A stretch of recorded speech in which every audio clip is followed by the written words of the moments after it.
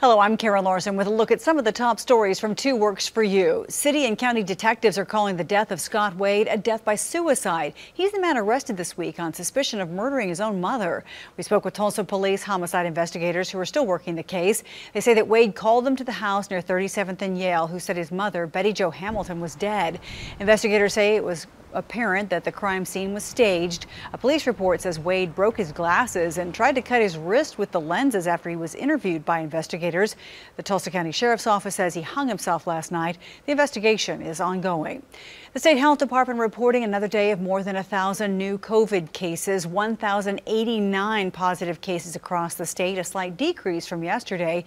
An additional eight coronavirus related deaths are also being reported.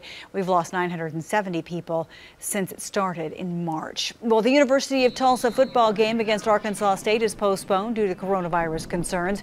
According to Arkansas State Athletics website, the Red Wolves don't have enough players for the team to play safely.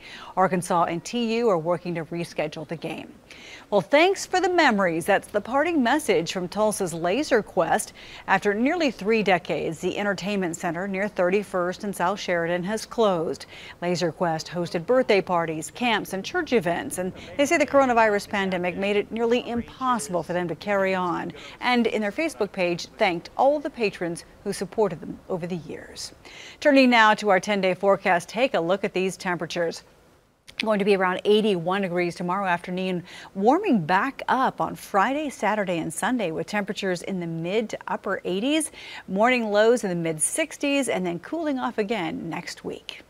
Well, that is a look at some of the stories that are making headlines today. Stay with Two Works for You for updates.